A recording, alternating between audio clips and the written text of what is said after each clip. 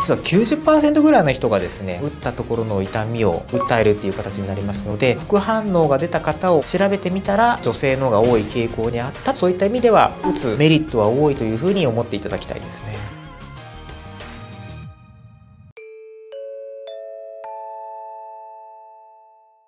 まずコロナワクチンの代表的な副反応ってどういったものがありますか？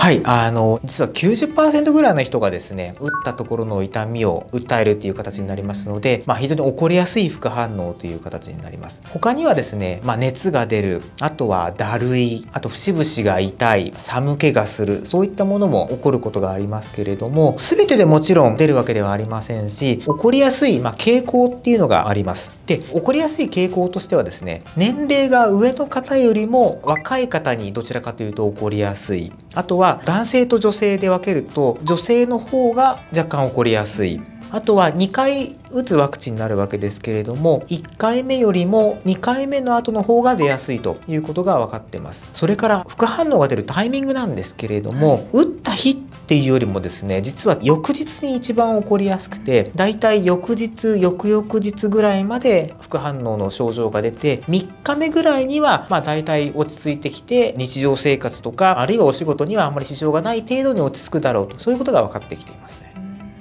長期的な副反応とかっていうのはあるんですか？今申し上げたのは短期的なものっていう形になりますけれども、まあ、長期的なものはですねそもそもまこのワクチンが使われるようになってまだ1年経たないぐらいという形になりますので実際にそのワクチンを受けて1年経った人がほとんどおられないのではっきりしたことはわからないんですけれどもただあの一部でこういろいろ言われているようなんですね例えばその人間の遺伝子が変わってしまうんではないかとかそういったあの声も聞きますけれどもまあ理論論上ワクチンに含まれる RNA が人間の遺伝子に何か影響を与えるかというふうなものはですね基本的にはないというふうに言われてますのでわからない部分もありますけれども、まあ、そういったその遺伝子が組み替わるとかですねそういったことは基本的にはないと思っていただいていいと思いますね。はい、先ほどお話でもあったように女性の方が副反応が出やすいってお話あったと思うんですけど、その理由とかっていうのはありますか、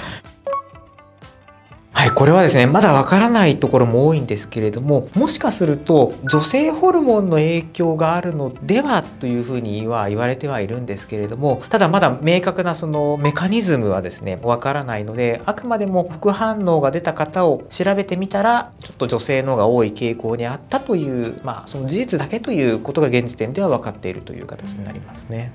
すでにコロナにかかってしまったことがある人の副反応っていうのは出やすかったりとかあるんですか？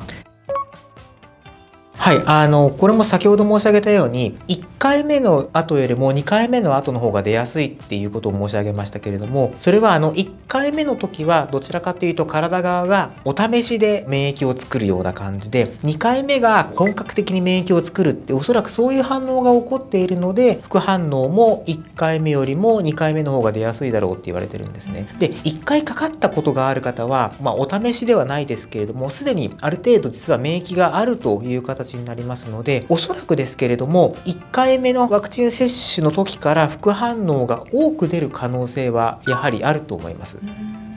コロナワクチンを打つと不妊になるだったり障害児が将来生まれてしまうかもしれないっていう噂を聞いたことがあるんですけど、実際はどうなんですか？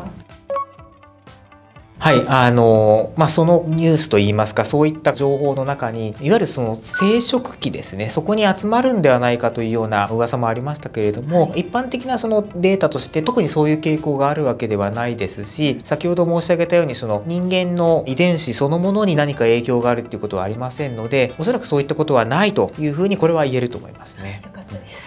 ワクチンの副反応の症状は市販薬でも良くなりますか？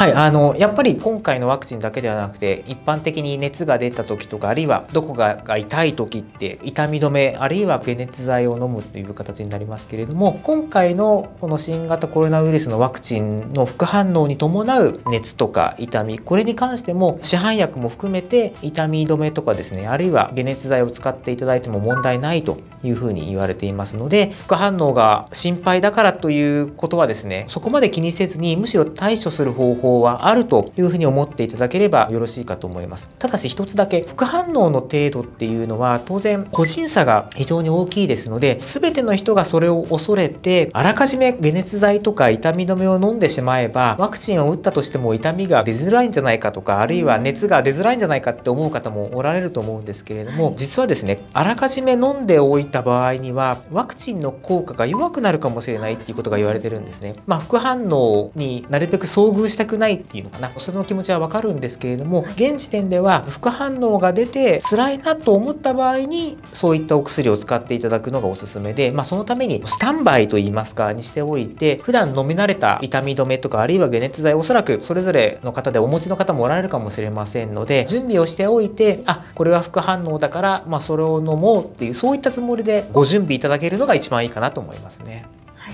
市販薬はいろいろ出てると思うんですけど一番効くものとかってありますか？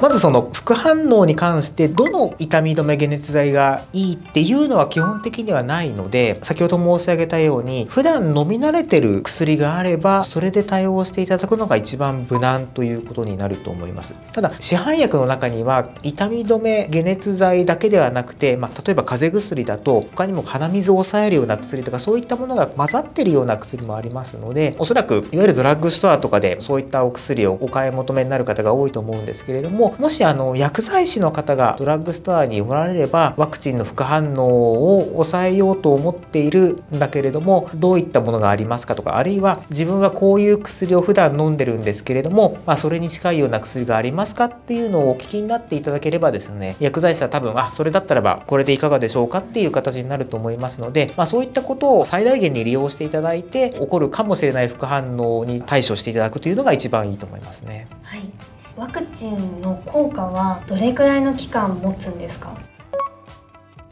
はい、これもですね、まだワクチンを打ってすごい日にちが経っているわけではないので、中長期的なデータっていうのは実はないんですけれども、今のところ分かっているのは、しっかり2回打った方は、接種から半年ぐらいはそれなりの効果が保たれてるだろうということが言われているんですけれども、ただし、年単位のデータはまだないとは思いますし、ウイルスも一般的な、いわゆる一番最初のウイルスではなくて、変異株といったそういう感染力が強まったウイルスとか、あるいはウイルスの種類によってはそのワクチンが効きにくいっていうふうに言われている、まあ、ウイルスの株もありますのでなかなかわからない要素も多いんですけれども今まで分かっているデータで言うと半年ぐらいは大丈夫そうだということが言えると思いますので、まあ、それ以上のデータに関しては今後の報告といいますかそれを回ってみたいっていうことになりますね。はいワクチンを2回接種された方はもうコロナにかからないのでしょうか？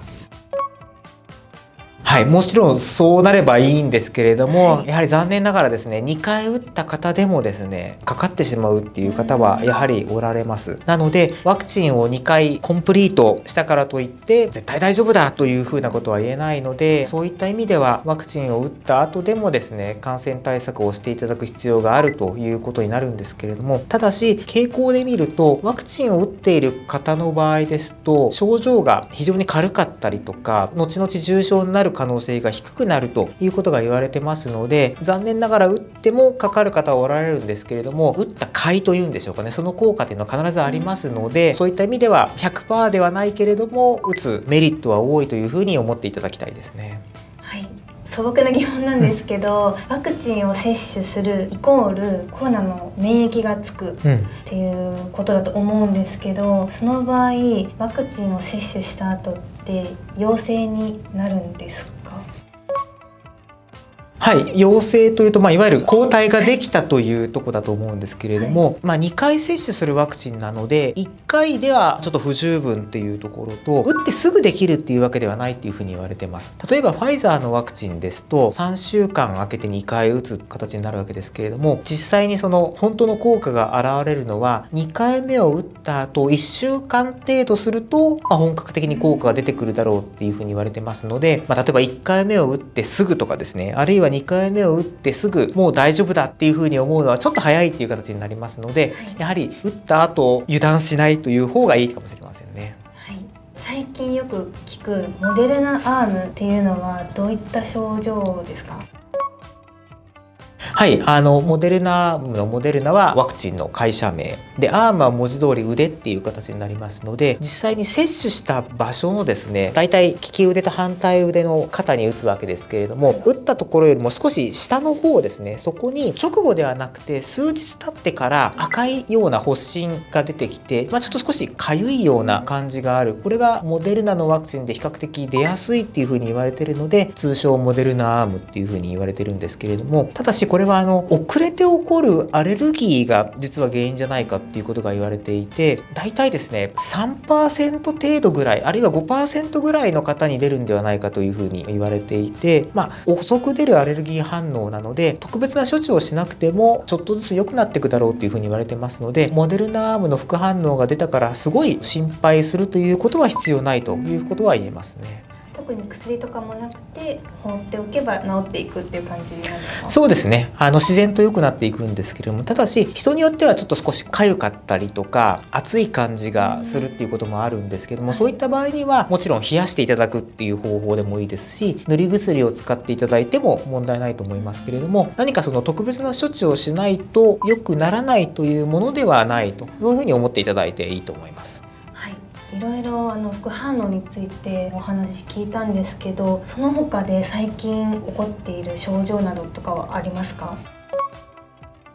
はい、あの最近言われているのは心臓の筋肉の炎症心筋炎といってごく稀になんですけれどもワクチンの影響で心臓の筋肉それに炎症が起こってしまって心臓の機能が一時的に弱くなってしまう。例えば血圧が下がってしまうとか息が苦しくなってしまうとかあるいはすごいドキドキドキドキしてしまうっていうことがごく稀に起こるっていうことが言われていて特に若い男性が2回目を打った時に出る可能性が若干高いだろうということが言われてはいるんですけれどもただし非常に稀な副反応というふうに言われてますし命に関わるようなことは現時点では極めて稀というふうに言われてますので、まあ、そういったことも起こることは分かってきたので逆にその情報を覚えておいていただいて接種した後にさっき言ったようにドキドキするとかですね胸が苦しくなるとか息が苦しくなるっていうようなことがもし起こった場合にはですね接種されたところあるいはかかりつけの先生がおられた場合にはその先生にご相談をいただくのがいいと思いますけれどもそれも過度に心配する必要はないということは言えると思いますね。はい、わかりました